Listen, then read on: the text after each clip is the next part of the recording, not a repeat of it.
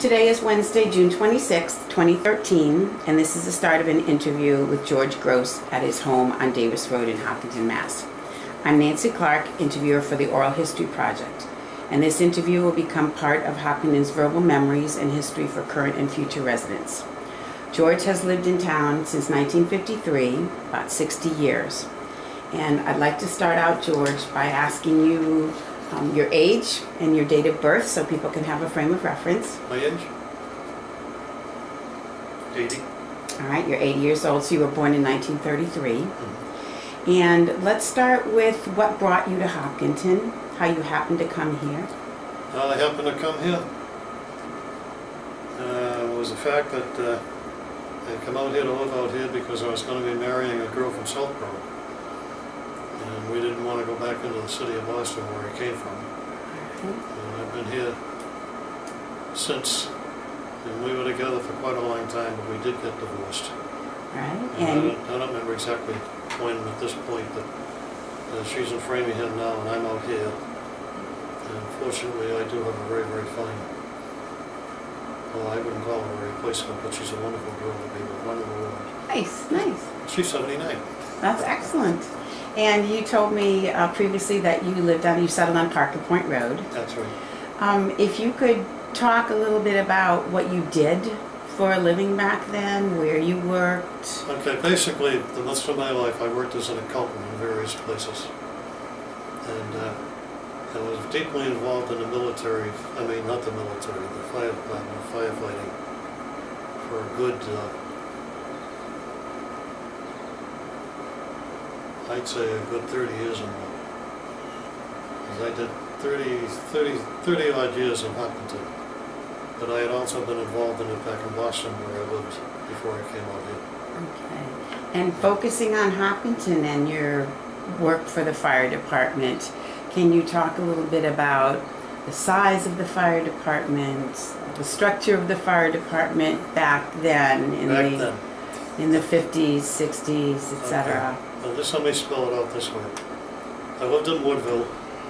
When I first moved in here, they had a little firehouse on Woodville, built right on the corner of, uh, well, across, kind of across the street from where it is now. And uh, single engine in there, and there were about five or six people that ran with it if they wanted, if they needed it.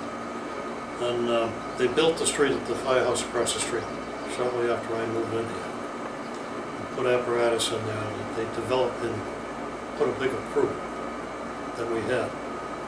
And uh, up here, in the main station, only had one building.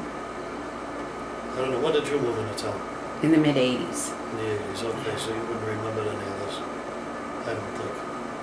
But anyway, if you stand in front of that firehouse across the street now and you look at it, in the middle, you got three big doors.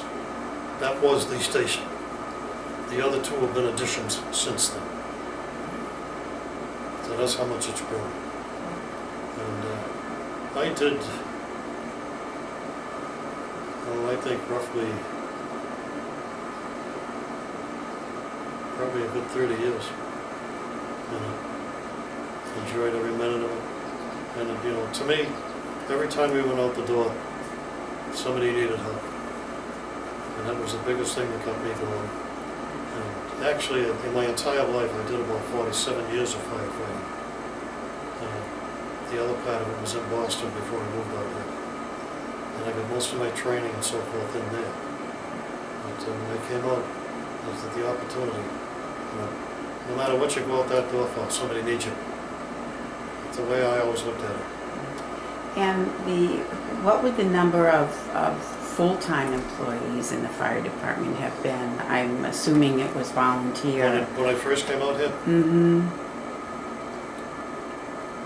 Uh, We didn't have any full-timers in Woodville.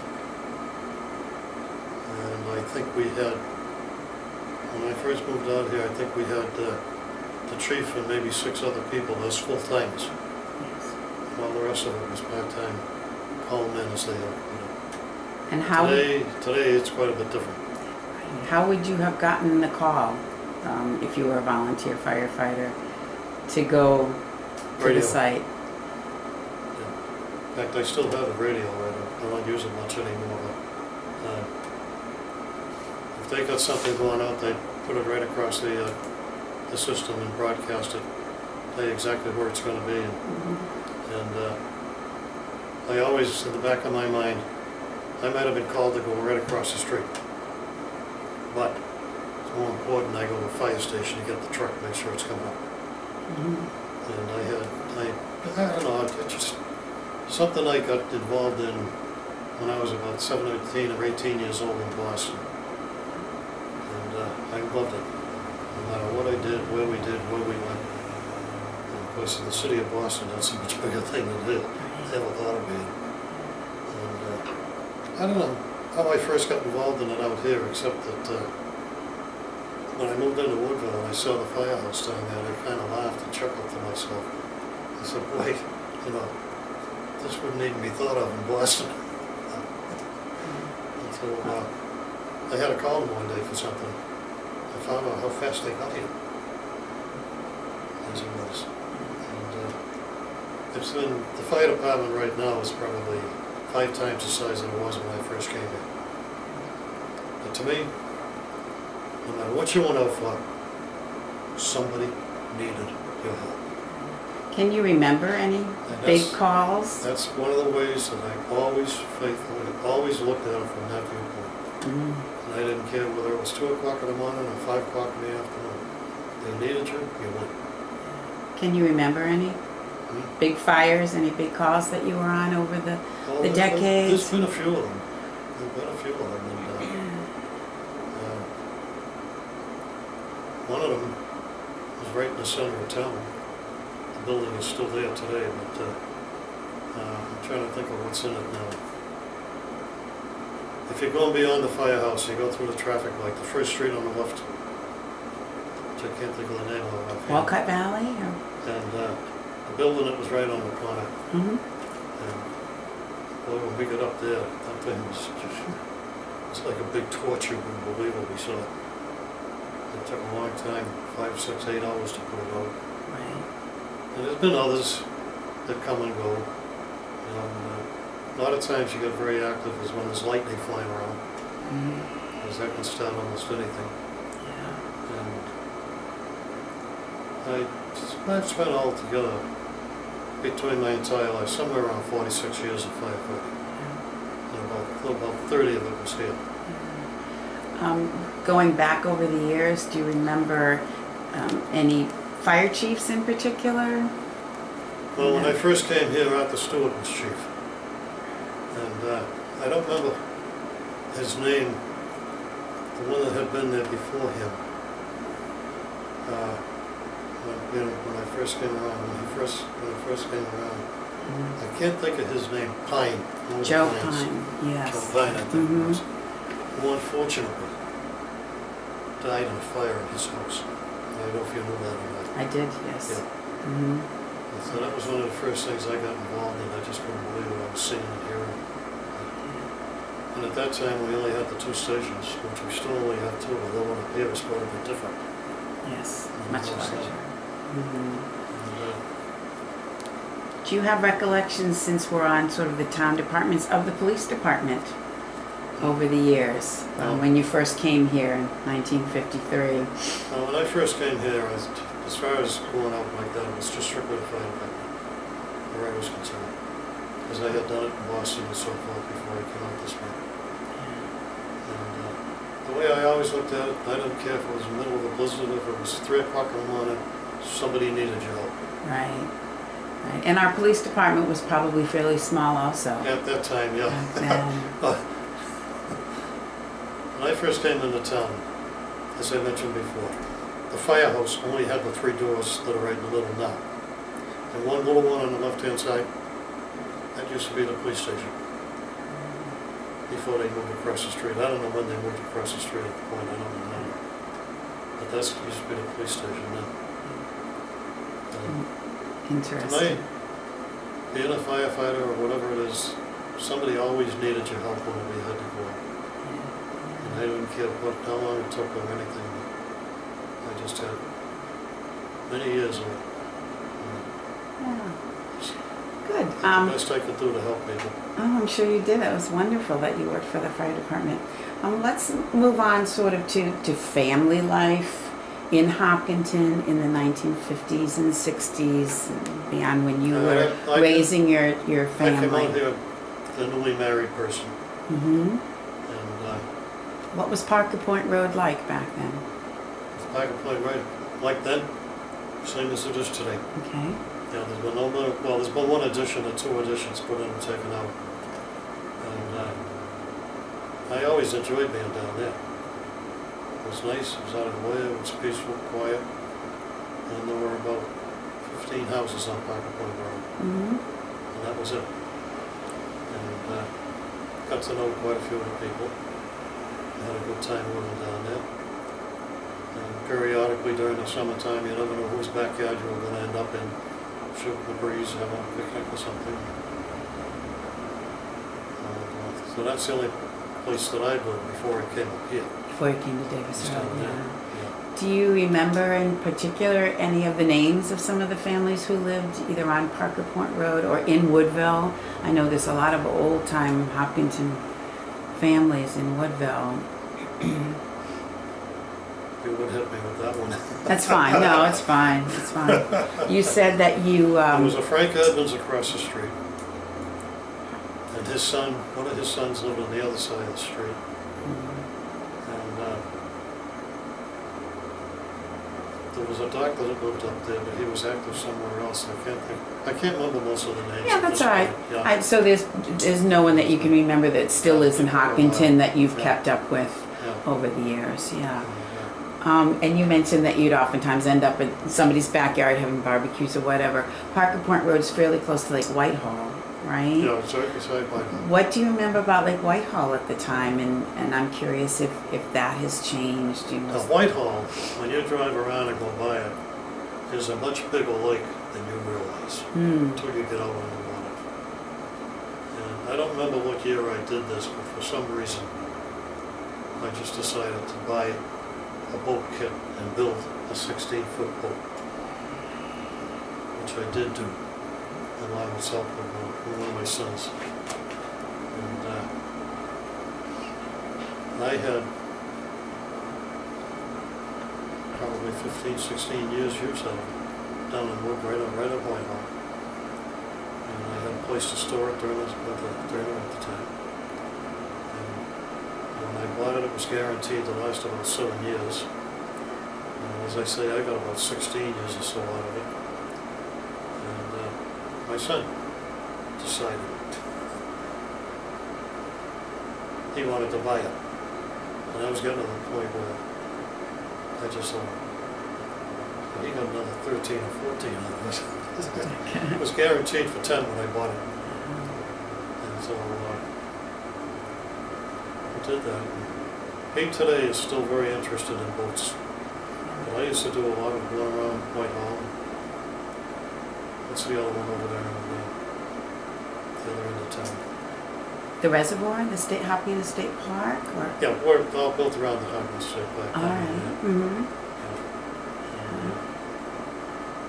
Was the boat uh, I spent, I spent, a- I was just gonna say, was the boat launch um, on Wood Street to get into Lake Whitehall? Oh, was yes. that Yeah, there? very nice one. That's been there for a long yeah, time. it was built since I came here, but there is a very nice one there.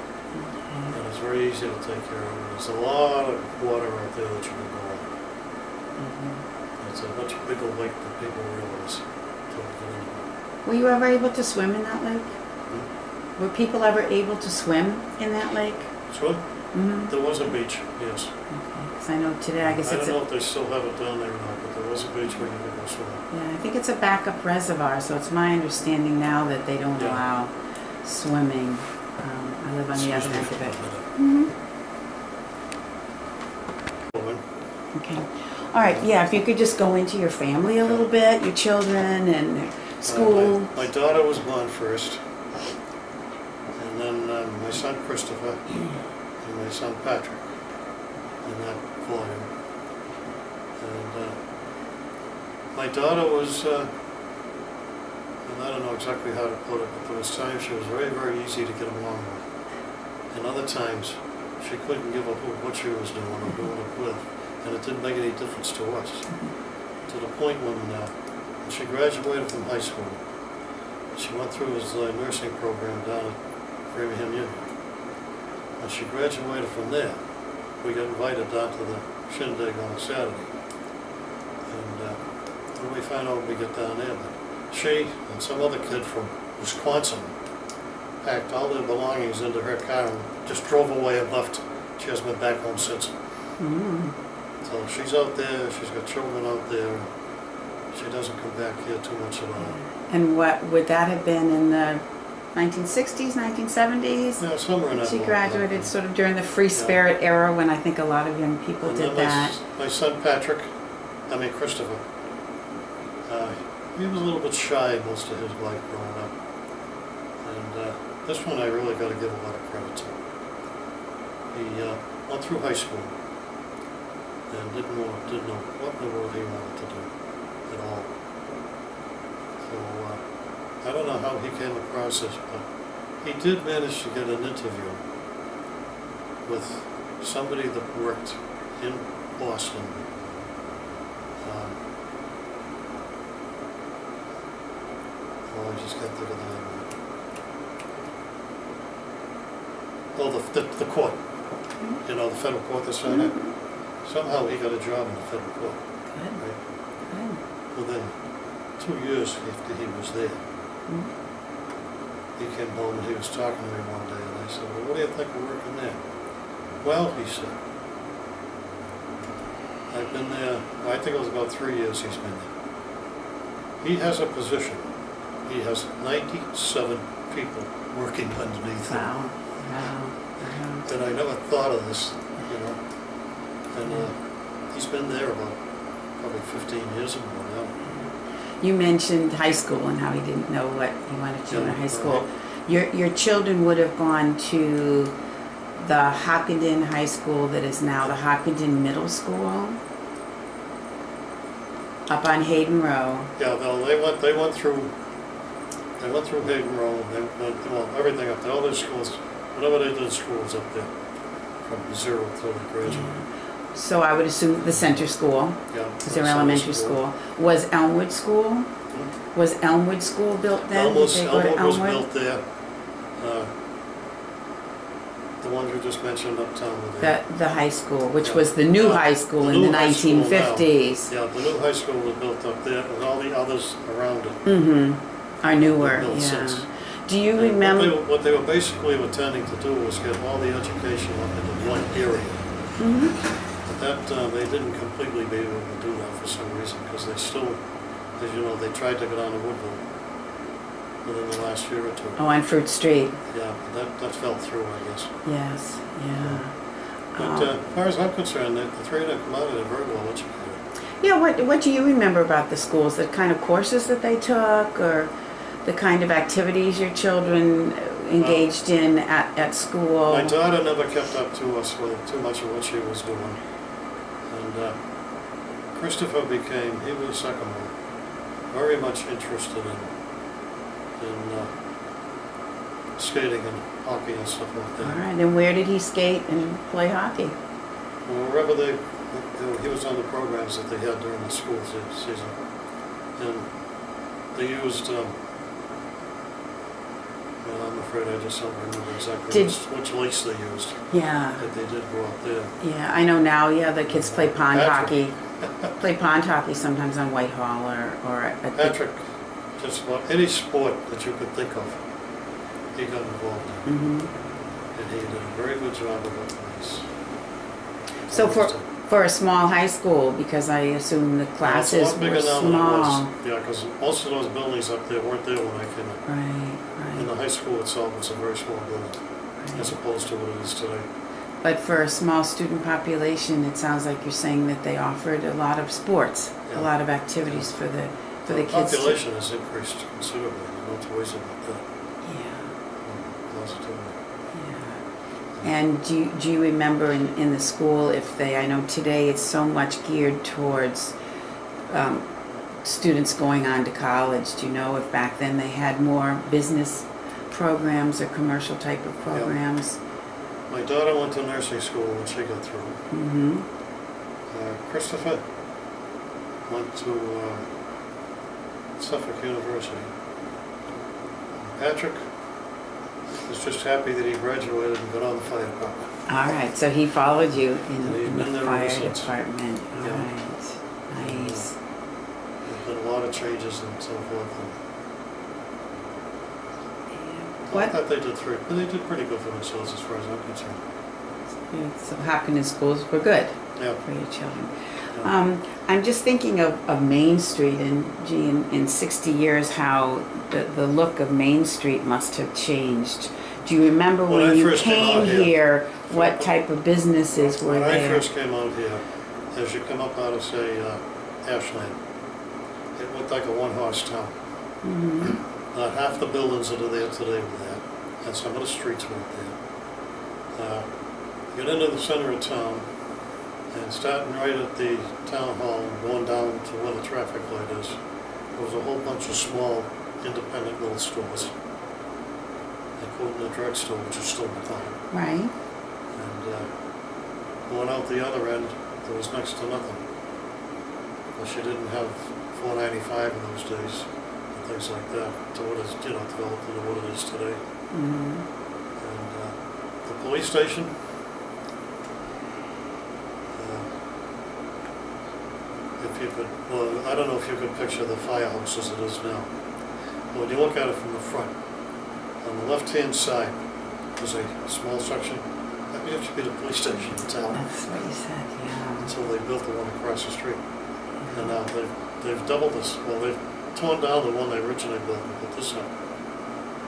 So there's been a big increase in that. And as you can see too, there's been two or three additions to the firehouse since I moved in here. And uh, even the size of the amount of people they got working there. So you, you mentioned Interstate 495, and I would assume that really changed Hopkinton in a lot of ways. Did you notice, um, you mentioned earlier that you were an accountant.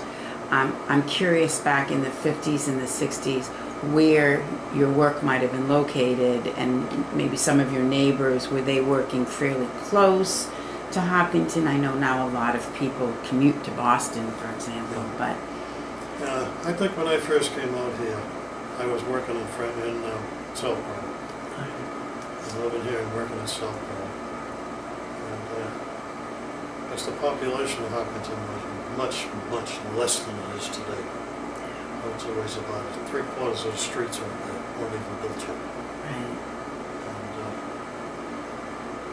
I would say, I mean, you could drive through the center of town, come up the other end, up around where, uh, the, what they call that new center up there, that, uh, Going toward Ashland or going toward no, no, coming Upton, the other way, going towards the other way. where the Price Chopper is? Are you talking about by ni- by four ninety All, all that down there hadn't been built. The Right. four ninety-five had not been put through town. That's how, that's how I've increased it since I've been here. So it brought uh, There's some more been quite an commercial. increase in the population and the amount of buildings and so forth than, than it was when I first came here.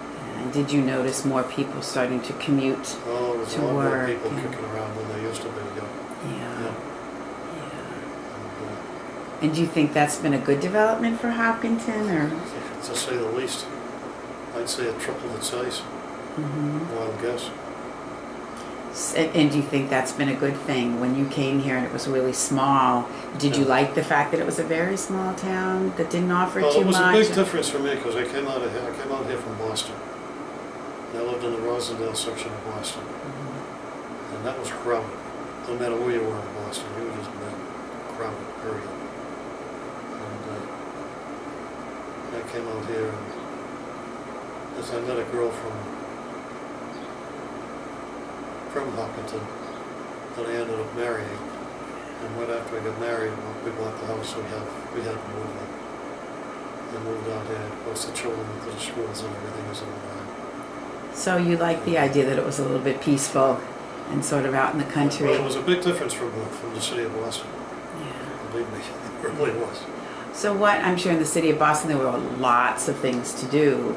What kind of things did you and your family do in Hopkinton in your leisure time? Well, we used to, um, you know, when the kids were growing up and before you have the opportunities that you have today, I've seen a big increase in this town since I've been here. School system for one thing and where it is and so forth. Uh, we used to just, during the summertime, we'd pack ourselves in the cars and drive up to New Hampshire someplace, spend a week or two up there and come back. Mm-hmm. And uh, watched this, the growth in this town since I've been here has been phenomenal, as far as I'm concerned, quite a bit. A lot of areas around here didn't even exist Right, as they do today. right. Did, And, uh, Wood Street was a little two-lane job. so when you're, I know today, I taught at the high school for a while and it seems like so many of the high school students have cars. But I'm sure back when your children were growing up in Hopkinton, they didn't have their own cars. And um, did they have most of their friends close by to where they lived, or did they walk far in town, or get on their bike to go see friends? Did I'm wondering, you know, if how Well, far you let them go? They, they didn't have the opportunities that they have today because there just wasn't. And uh, we ourselves used to make sure, especially during the summertime, we got them the heck out of Woodville and off to somewhere else so they could get to find out what life is like everywhere else as best as you can. And brought them back down here. And uh, all three of them went through the school system. And I've seen the school system as far as building is concerned, built considerably. I don't know, how long have you been in town? Since the mid 1980s. 1980? I've seen when we Yeah, came it was a- here. well, there a were only lot- three schools. Yeah, when I first came here, there was a lot less than there is today. Yeah, And I don't think it's even stopped increasing. yeah. What else do you remember when your your children were teenagers? What they did, like on a weekend, or did they have any dances, or If they would. did they have any dances for the kids, or Well, Periodically, um, I wouldn't say that the school system itself sponsored dances and things, but some of the churches did and other things. And it was, the opportunity was available if they wanted to go. And uh, I can't think of right now, there's one building uptown that used to be nothing but, uh, I think I know which one you're talking about by the Doughboy. I call it the PIA building, but from the Doughboy, yeah. mhm, I've been told there was a gymnasium in there. That used to be a wide open thing for gymnasium and everything, and they had a lot of physical activities for them. Yeah. So, Yeah. You mentioned churches. Um, what were most people church-going people when you came here in the 50s, 60s? And do you remember the churches that were here and how they may have changed? Well, they had, they had a Protestant church in Woodville. Would that be Woodville Baptist? Hmm? Would that be the Woodville Baptist Church that's there Probably still today? is, yeah. Mm-hmm. And coming up here, and these are all on the main street, not where they are now. There's a road there. Um, You had, coming up through Woodville, you had, I can't think of the church, the name of the church now, but it's there and it's two different uh, types of uh, religion in it. Yes, that would be St. Paul's. Yep, okay. Right, Episcopal and And, now a Methodist also, yeah. I believe. Up the center of town, you had what was the high school, which now is just, I don't know what they're gonna do with that building, but they Mhm. still, I think the kindergartens and so forth are in there now. Mm-hmm. That was there. And, uh, so the new schools haven't even been built as to what they are today. Uh, they had no school in Woodville. They all had to come up here. And they built all that stuff down in Woodville and they're not using it as well as they thought they were gonna be able to. And the um, the church is in the near the center of town on Church Street. It would have been St. John's. Well, they've changed is quite a still there. Yeah, there were a lot of, uh, probably, I think when I first came out here, there might have been seven or eight different religions. And uh, St. John's used to be right on Main Street, as it was at one time. Now it's up around the corner. And uh, And Right the, where the- right where the library is, there was two churches beside the library, but I don't know what religions they were. yeah, I think one of them was St. Paul's Episcopal. I think that was the original location for St. Paul's that then Yeah, moved that- that down on probably Wood Street. yeah. And then the church across the common, that's now a Korean Yeah, church, was the Congregational Church. but the one that used to be there moved down the street. Yes, yeah, down towards Ashland is where it is now. Yeah, yeah. Um, let me see. Um, other things about Hopkinton that we could talk about. Um. Yeah. We now have a singing group and so forth, and uh, it's not just for town. Now, this afternoon, we're going north up into, uh, into New Hampshire to a nursing home up there that has our former director living up there now. Well, that's wonderful And to give a We're gonna go concert. up with about, uh, I think sixteen or eighteen people that sing in the chorus. Mhm. And is this singing group Yeah. through the senior center? Uh, the senior center sponsors it, as it is now, Yeah. Uh, we meet once a week. And anybody that wants to go up there and join it and become a member of singing group can. And uh, we have probably maybe 20, 25 people, and about 10 of them don't even live in town. Oh, that's wonderful. That they come out and they join us. Yeah. And to me, it's been very, very nice. It's, you know, it's a good thing to do. Did you sing? Were you um, part of a group when you first moved to Hopkinton? Were there any opportunities like Do I, that do I sing? back then? hmm I, I've been singing ever since I came out here. though. And was there a group similar to this that you were able to sing with, or did you sing in church, or? Now, it was all based out of here, and uh, you could go, somebody, we used to go a lot of places and sing different things. Mhm. And one thing I never knew when I was growing up, my mother. I never knew this until she died and passed away.